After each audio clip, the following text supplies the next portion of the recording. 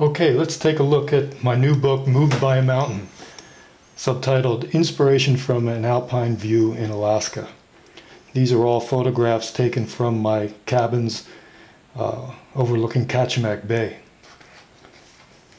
This particular copy is a pre-publication copy, numbered 158 of 200, embossed and signed. I spend uh, one page just describing the work that I do. And then comes the foreword by Th Thomas Campbell, who uh, I mentioned in my TEDx presentation. Ex excellent foreword. And the first photograph from my cabins of uh, what I call the throne room, an old cirque in the middle of the Dixon Glacier.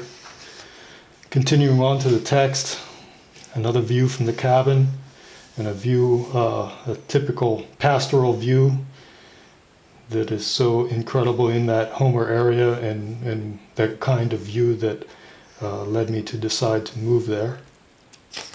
This text is all about me finding the place and building the cabins as a young man, a young adventurer coming from a, uh, being a whitewater guide.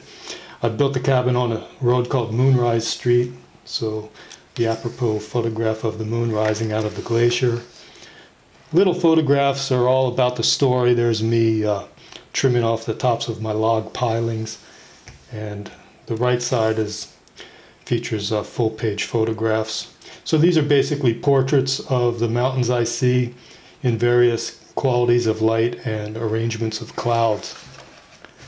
These are the cabins that I built, my first one and then the second one built of all the beetle kill logs that I had to cut down.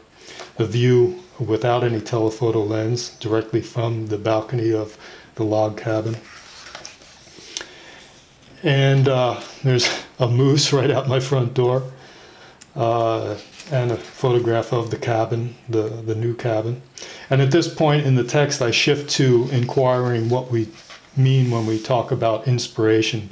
That view being so inspiring, it drew me up into it, and I describe a trip up on the ice field, and uh, I describe the mysterious quality of being able, able to see mountains through holes in clouds.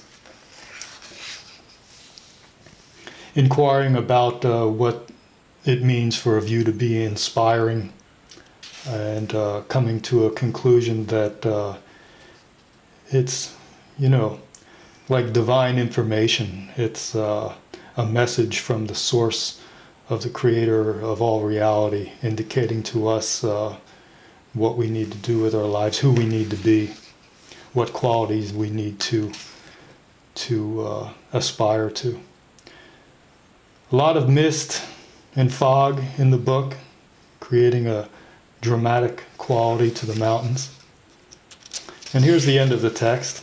And then moving on to the second half of the book, which is divided by this two page spread of the throne room. And then we shift into this beautiful, rich, warm gray color of the pages with uh, quotes from uh, important thinkers on the left and full page photographs on the right. This is the section of the book I call the gallery this quote from uh, an eco psychologist, uh, Joseph Campbell, Rousseau, more fog and mist, very dramatic photograph. Krishnamurti, Robert Macfarlane wrote a book called Mountains of the Mind, which is an important book about uh, what mountains mean to men.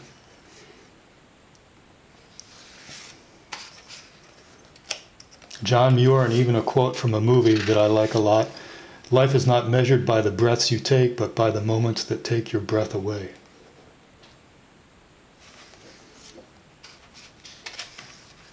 A Tibetan Buddhist teacher,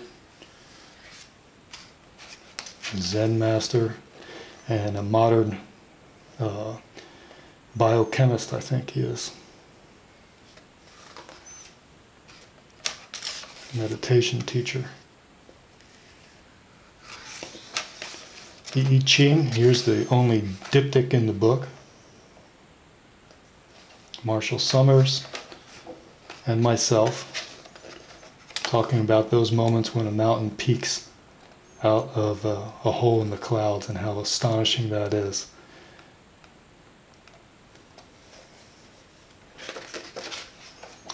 The end of the book is a real homey couple of pages with a quote by my neighbor about how good it feels to see uh, the throne room.